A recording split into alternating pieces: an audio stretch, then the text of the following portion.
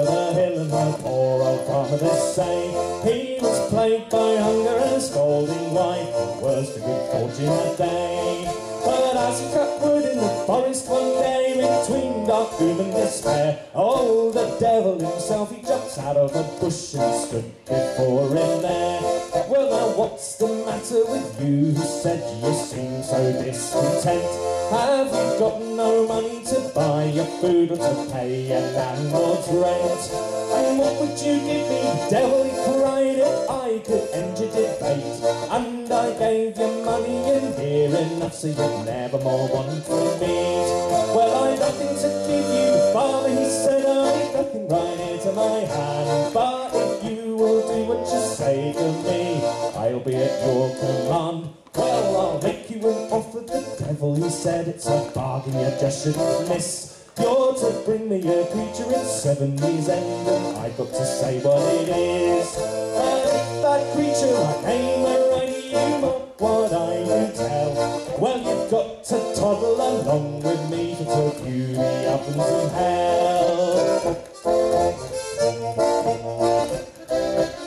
So this old man thrusted and prospered well. It was all gained and spent till he came to the end of his seven long years. So sorely needed lament. What's the matter? Wife she cried. You seem so discontent. Have you got some silly young girl with child and it's making you sorely lament? No, I made a bargain with the devil. He said it was a bargain that I just couldn't miss. And I'm to bring him a creature at seven years end. He's got to say what it is. But if that creature names already, you mark what I do tell.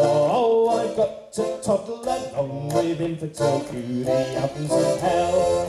Oh, never your worry, his wife she for your cattle, your people, your pig. For the wit of a woman comes handy in times and a jet hour of need. Go and fetch me the droppings from all of our chickens and spread them all over the floor.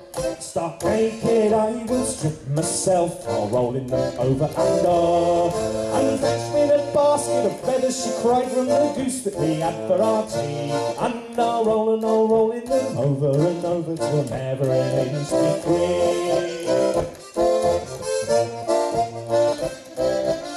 So she's rolling, she's rolling the feathers and droppings from her head down to her navel. Good God, he said, what an awful sight, and you look far worse than the devil. And when the devil himself came in, he began for to steam and to hiss. Sweet Christ, he said, what a horrible sight, and I'm damned if I know what it is. Well, he started to shake and he started to quake, saying, have you any more of at home?